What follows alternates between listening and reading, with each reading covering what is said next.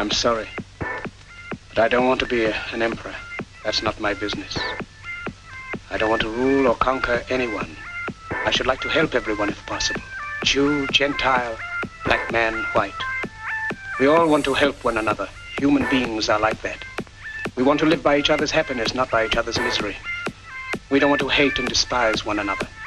In this world, there's room for everyone, and the good earth is rich and can provide for everyone. The way of life can be free and beautiful, but we have lost the way. Greed has poisoned men's souls, has barricaded the world with hate, has goose-stepped us into misery and bloodshed. We have developed speed, but we have shut ourselves in. Machinery that gives abundance has left us in want. Our knowledge has made us cynical, our cleverness hard and unkind. We think too much and feel too little. More than machinery, we need humanity. More than cleverness, we need kindness and gentleness. Without these qualities, life will be violent and all will be lost. The aeroplane and the radio have brought us closer together. The very nature of these inventions cries out for the goodness in men, cries out for universal brotherhood, for the unity of us all. Even now, my voice is reaching millions throughout the world. Millions of despairing men, women, and little children, victims of a system that makes men torture and imprison innocent people. To those who can hear me, I say, do not despair. The misery that is now upon us is but the passing of greed, the bitterness of men who fear the way of human progress. The hate of men will pass, and dictators die. And the power they took from the people will return to the people. And so long as men die, liberty will never perish. Soldiers, don't give yourselves to brutes. Men who despise you, enslave you, who regiment your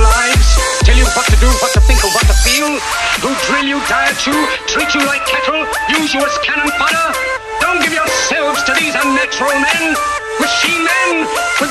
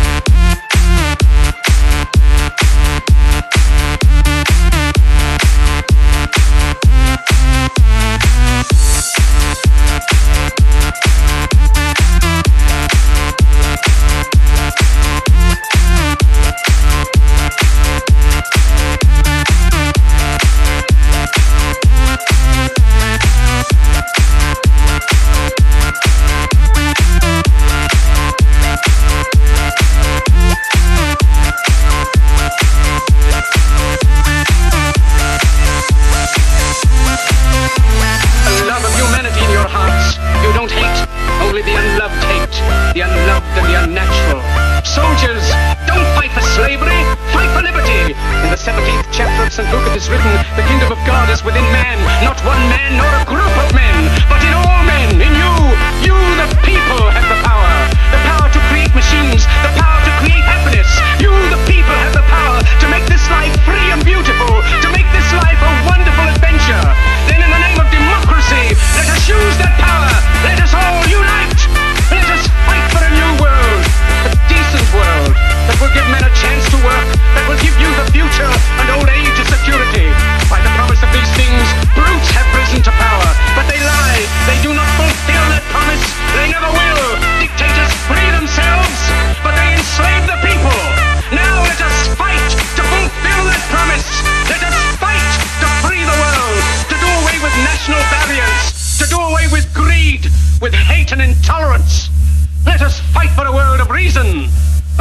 science and progress will lead to all men's happiness. Soldiers, in the name of democracy, let us all